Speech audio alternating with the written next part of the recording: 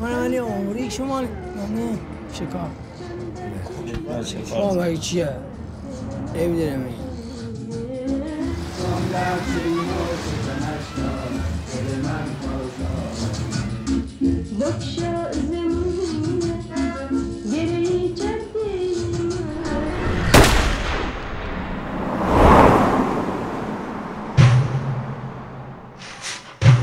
سبا خبری نداری؟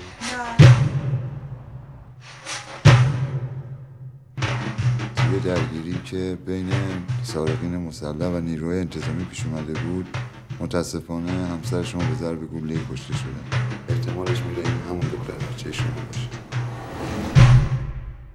کی کشته اینو؟ کار بود چه کافی انجام بشه. تا متوجه بشیم این این گله اصلا از طرف کی بوده؟ از طرف پلیس بوده یا اشرار؟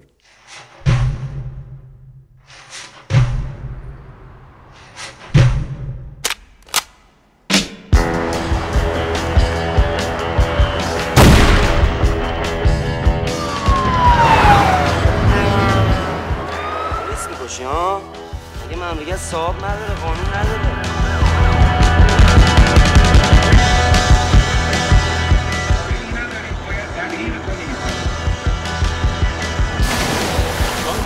بفرستنش به دره باشی برو ببینیم بابا